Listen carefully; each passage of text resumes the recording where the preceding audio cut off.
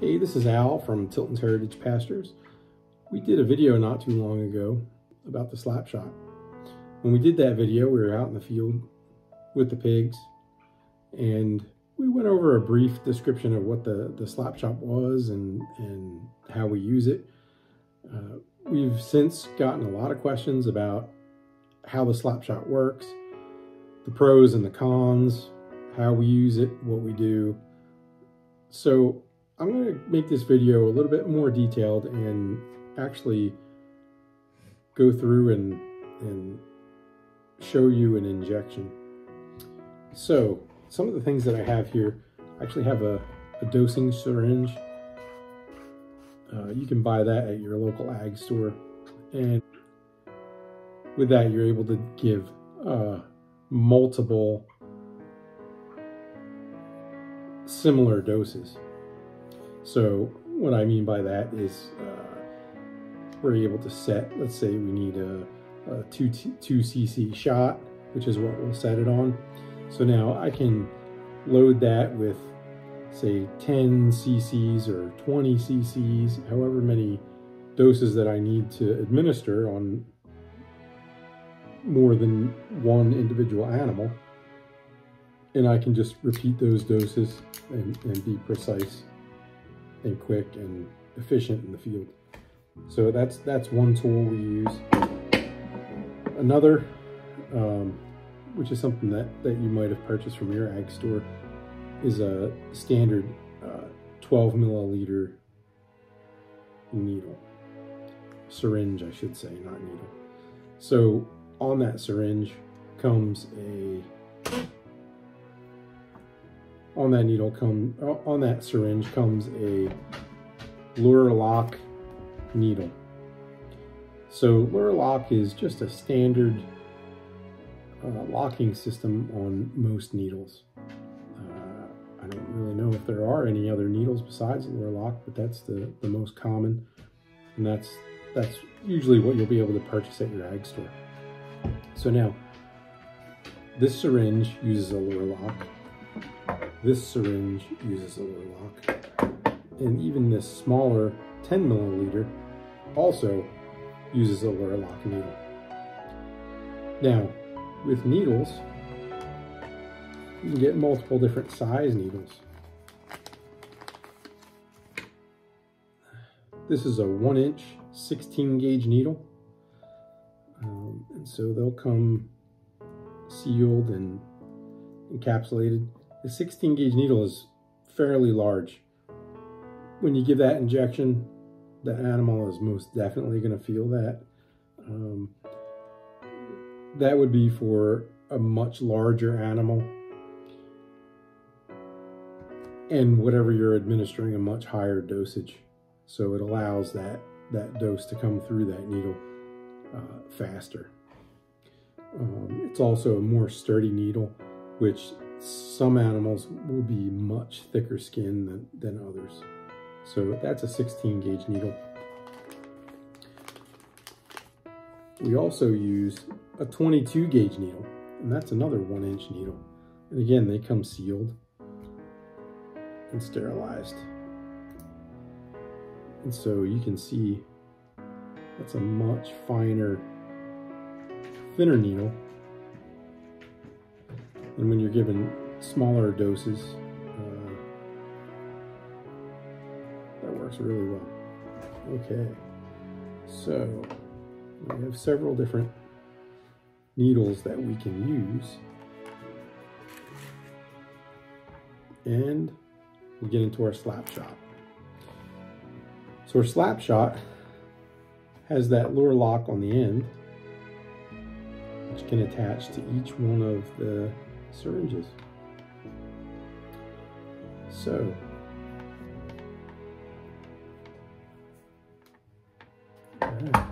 the slap shot has that Luer lock that attaches to each one of the needles, or syringes, I should say.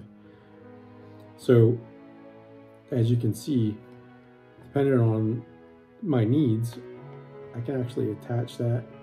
So that's on that 12 milliliter.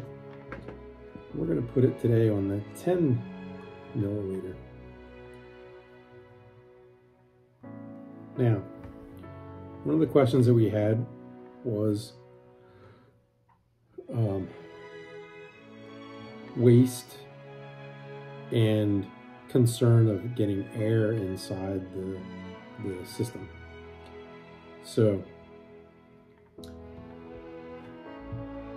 those are two valid concerns. So I'm going to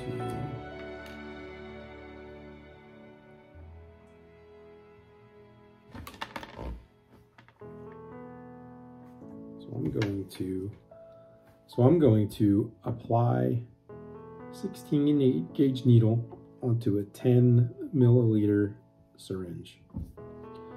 And so I've actually just got, this is not medication. It's just white liquid so that you can see it inside the syringe and as we use it.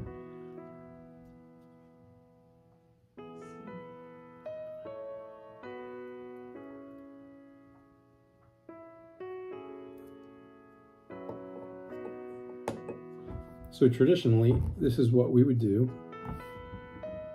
We would load that syringe. We'd make sure there's no air inside that needle. Of course,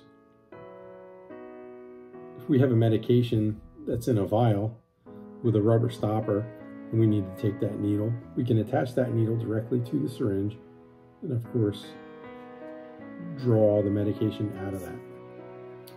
So now if we know our dosage,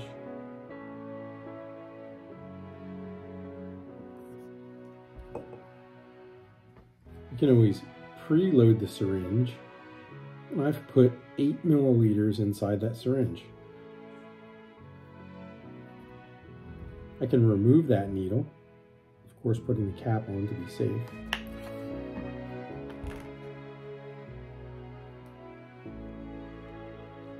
We can apply the slap shot.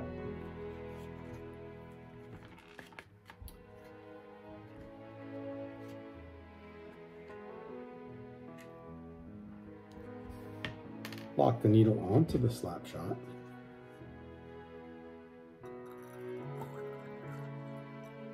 Load the slap shot just as I was loading a needle.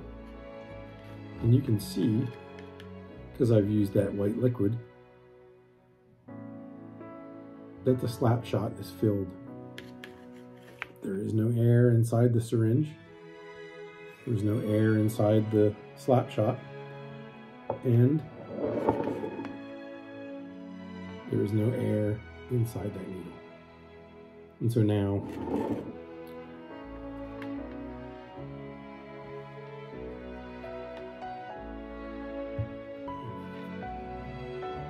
we had that slap shot between our fingers.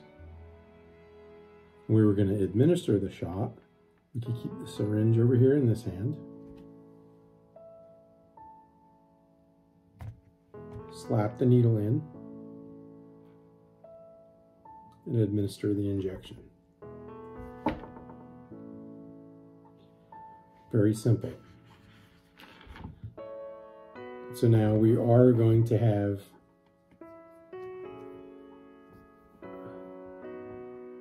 medication left over inside the slap shot. There's approximately two milliliters or two cc's that will be left inside that slap shot. Depending on the medication, you can decide what to do with that. In most cases, we'll just take that and discard it after we've done all of our doses. We'll safely remove the syringe. Discard that, you know, medical biohazard.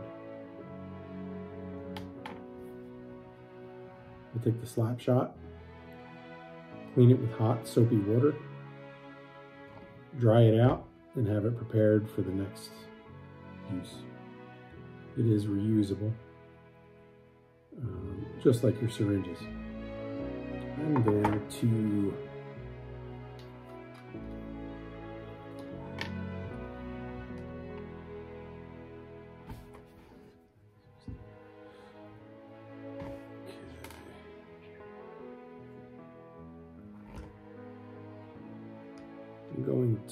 repeat that process. I'm going to use the dosing syringe. So I've attached the needle to the dosing syringe.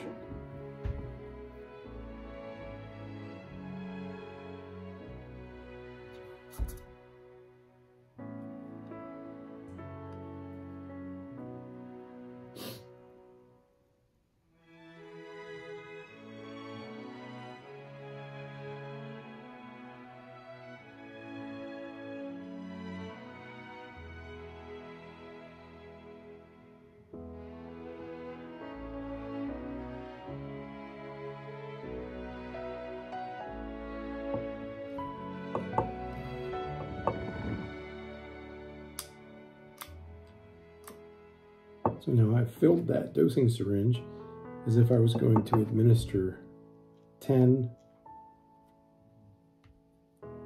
two milliliter shots. So I've removed the air.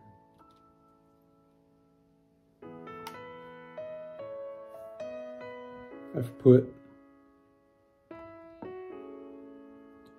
some extra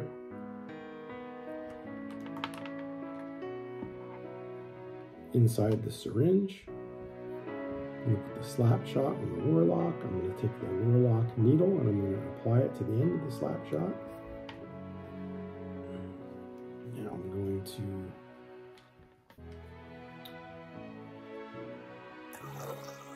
load the slap shot.